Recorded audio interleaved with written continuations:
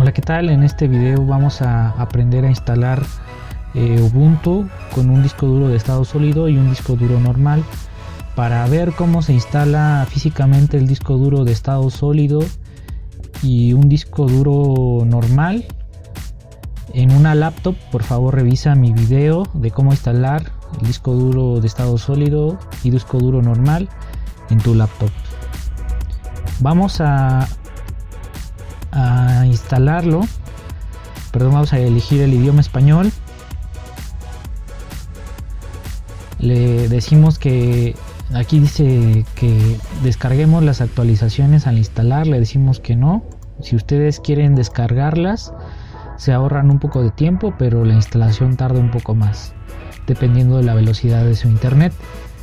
Aquí si instalamos los drivers de normalmente el Wi-Fi, eh, controladores de video y la tecnología de MP3 para reproducir audio en MP3. Le damos clic en continuar. Aquí dice más opciones puede crear particiones, redimensionarlas. Eh, le decimos continuar. Aquí nosotros tenemos el disco duro de estado sólido que en este caso viene siendo DEP SDA y el disco duro eh, normal que es DEP SDB. Vamos a poner aquí el sistema de ficheros raíz o la partición raíz y aquí vamos a configurarlo como un sistema de extensión 4 que es el eh, el sistema de ficheros que ocupa Linux le damos en punto de montaje en raíz o diagonal. Y le damos ok. Esto va a ser en el disco duro de estado sólido. Mm, en este yo tengo 20 megabytes, bueno, 20 gigas, perdón.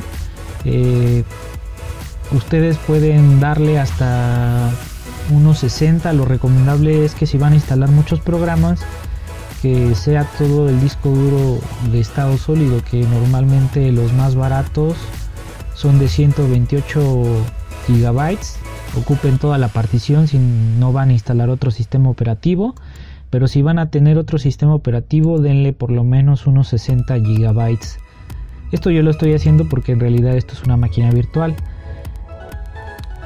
en el disco duro normal vamos a instalar el swap eh, vamos el swap es un sistema de área de intercambio sistema de ficheros de área de intercambio que cuando la memoria RAM eh, se satura eh, el sistema operativo ocupa parte de este, esta partición para almacenar archivos temporales.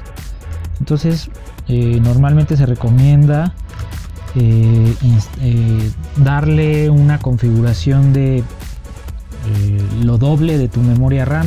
En este caso yo tengo 4 gigas de memoria RAM, entonces le voy a dar 8 gigas de espacio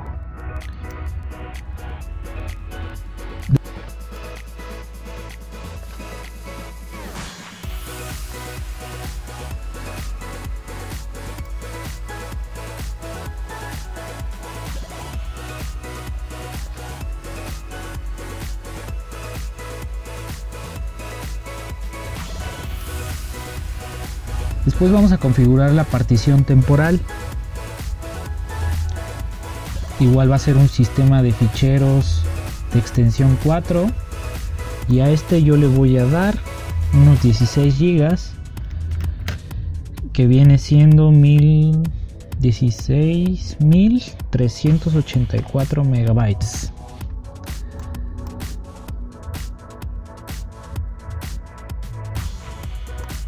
Eh, le damos clic en espacio libre, le damos en más para configurar el bar, que es donde se almacenan o donde el sistema almacena las compilaciones de algunos programas. A este yo le voy a dar unos 16 gigas también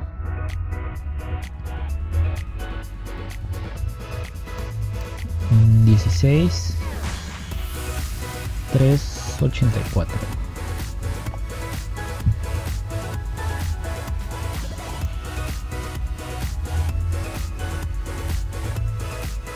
ahí y al otro que viene siendo la home o donde la partición donde se almacenan nuestros archivos eh, yo le voy a dar eh, todo el espacio sobrante que normalmente es el que se ocupa eh, el que ocupa más espacio en nuestro disco duro. Y así ya va a quedar configurado el sistema. Después pues le damos a instalar. Ah una cosa importante es eh, utilizar eh, la bahía principal o el disco duro principal que en este caso es el disco duro de estado sólido donde se va a instalar group o el gestor o el cargador de arranque como gusten llamarle. Ahí se instala group y con este arranque el sistema. Le damos a instalar ahora. Eh, le voy a adelantar para hacer más corto el video. Y vamos a configurar después eh, o vamos a ver si realmente se instaló como nosotros eh, configuramos las particiones. Reiniciamos y nos logueamos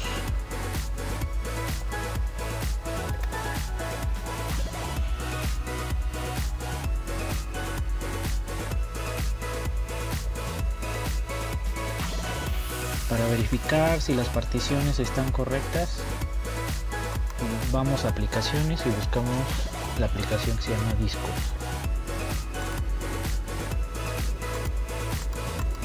Y efectivamente el disco duro de estado sólido está montado en el sistema raíz